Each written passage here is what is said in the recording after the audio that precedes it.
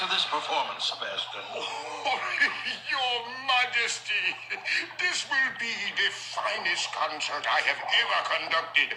Your daughters, they will be spectacular. Yes, and especially my little Ariel.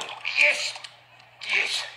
She has the most beautiful voice. If only she'd show up for rehearsals once in a while.